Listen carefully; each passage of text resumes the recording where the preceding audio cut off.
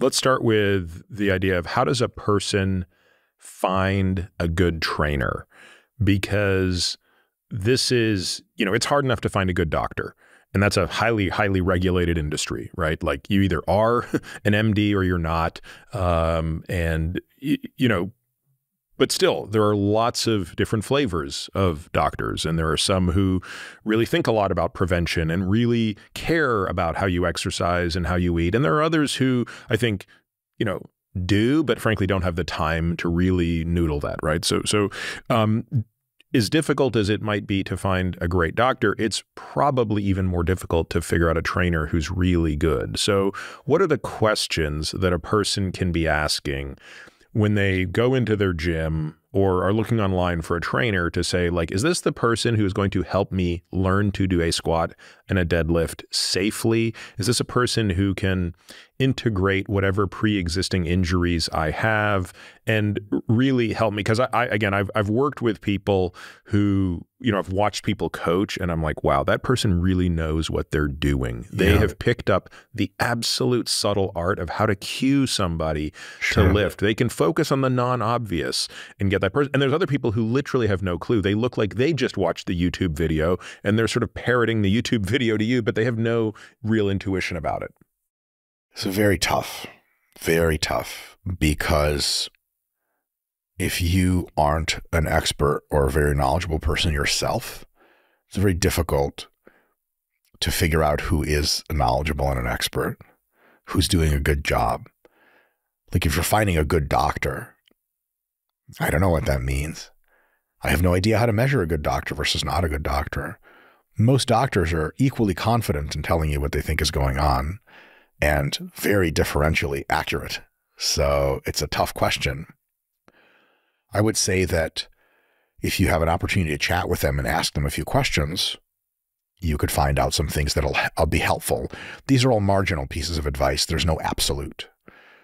I'd say the thing that comes close to the absolute of having a high guarantee that they're good at what they do is if they're um, certified in the Menno Henselmans PT course. Menno is an expert in our field. He knows his stuff, and his trainers that he certifies have a high probability of being able to deliver to you what it is that you want out of them. There are other fine certifications out in the world, but um, a lot of certifications, you're just reasonably intelligent and you studied for an hour and voila, you're certified. So the certification doesn't go very far. It helps if your trainer has an undergraduate in kinesiology or some related field that is not by itself ensuring you that they're going to be good, but it sloughs off a lot of back end, if you know what I mean. Like you're going to get rid of a lot of not great trainers. You can almost entirely ignore what they look like because the preponderance of the reason people look like they do is genetics. The other is diet. And the other is just how long have they been doing stupid or smart things to their body, but grinding away.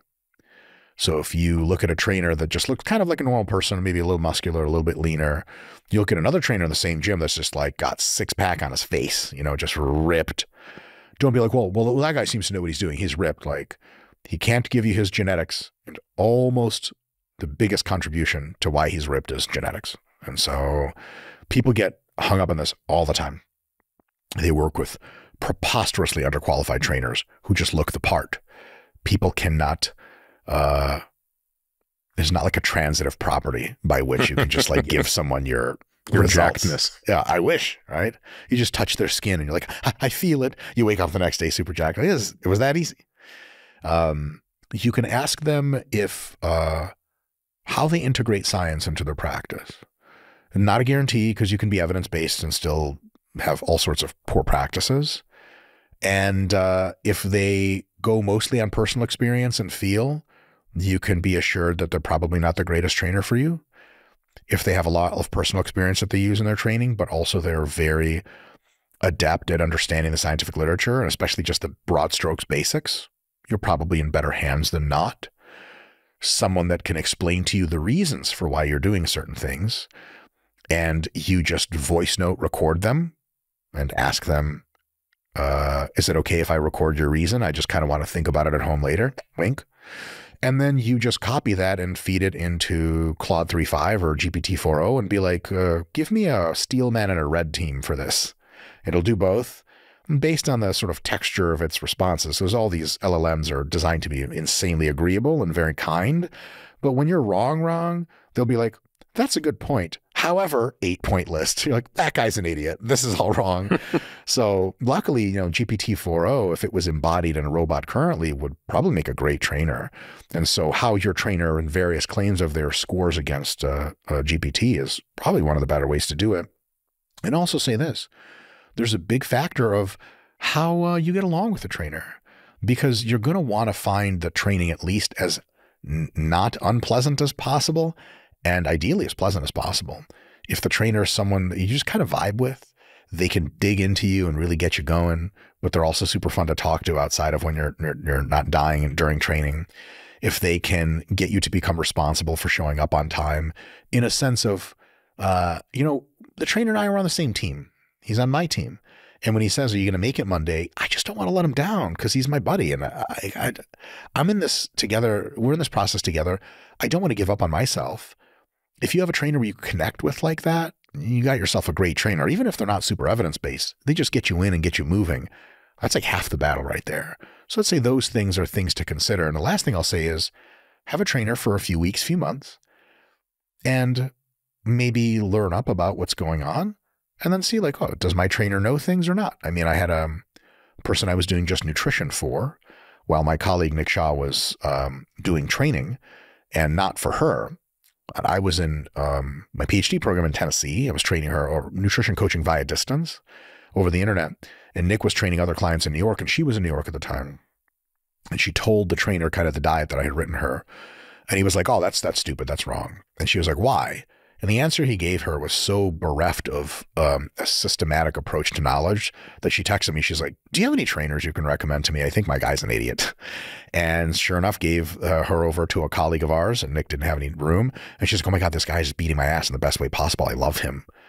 Yeah, some of your trainers will suck, and you might need a few weeks, a few months to realize, like, man, everything I've heard about how this whole process works, my trainer doesn't even agree with me yeah, you might have to switch it up. Uh, you know, you might not have the perfect car. The first car you buy might just be a thing that has a steering wheel and, and wheels and goes places. And after you've kind of appreciated what it is you do and don't like about your car, your next car can be a bit more of a educated purchase.